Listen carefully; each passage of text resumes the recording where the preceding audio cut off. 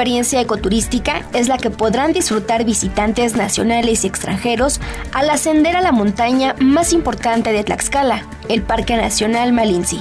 Estar rodeado de árboles, conocer la fauna silvestre y admirar los paisajes naturales es parte del trayecto, que en esta ocasión recorrieron por primera vez León Guzmán y Pablo López.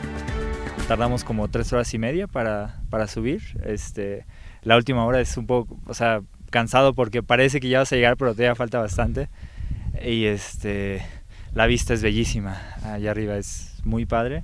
Este, vengo con tres amigos de Alemania. Es muy diferente a lo que esperaba. Eh, normalmente cuando subes volcanes vas viendo este, pura roca y aquí está padrísimo porque es puro bosque.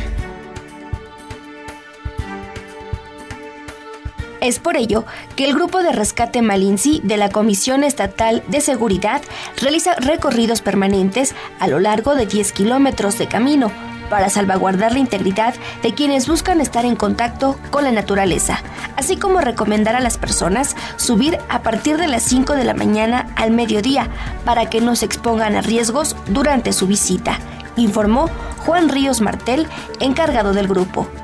Ropa abrigada, eh, calzado sobre todo que sea antiderrapante.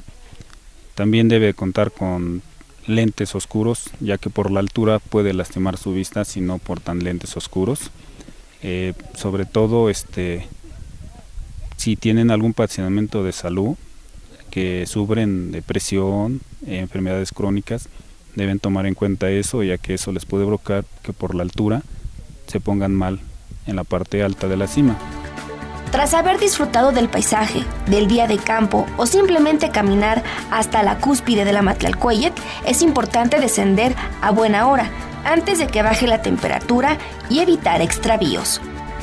Para el descenso lo deben de hacer por muy tarde, a las 3 y media de la tarde, para que no les agarre la noche en el bosque.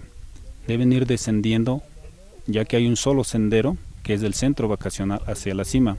Las demás brechas Solamente que las lleguen a conocer es como pueden entrar. No deben desapararse del sendero o del camino que está marcado y deben ir siempre en grupo. No debe de quedarse nadie porque eso podría ocasionar que se pueda extraviar. Aunque la zona boscosa invita a explorar otros caminos, es mejor no salirse del sendero marcado. Parte de lo que te comentan los policías, hay mucha gente. Entonces, este, nunca, nunca va solo y en que no conoces a la gente, vas, vas ahí como apoyo, vas de guía o, o te vas, te, van apoyando. Entonces es muy importante también. Y también el camino está muy, muy visible. No, no te pierdes tan fácilmente. Solamente que te salgas de él es, ya sería otro rollo. No tomar riesgos innecesarios, no eh, venir por lo menos con equipo, pues unas botas este, que te protejan los pies, este, ropa que te proteja del frío. Estamos totalmente protegidos porque el personal de seguridad, de seguridad pública, pues ha estado trabajando y, luego hace cimas y este y pues ahí nos está protegiendo y también regañando que nos subamos después de las tres. Las tareas del grupo también son activar el protocolo de rescate, atender a personas con el mal de montaña que presentan mareo, vómito, zumbido de oídos y dolor de cabeza, así como accidentes. Estamos durante todo el recorrido para poderles apoyar en caso de que tengan lesiones, en caso de que tengan algún problema. Estamos para ascenderlos eh, o descenderlos. Para eso contamos con cinco cuatrimotos y una unidad, así como equipo de primeros auxilios. Y tenemos también a la mano lo que son los servicios de emergencia para cualquier este, índole que lleguemos a tener.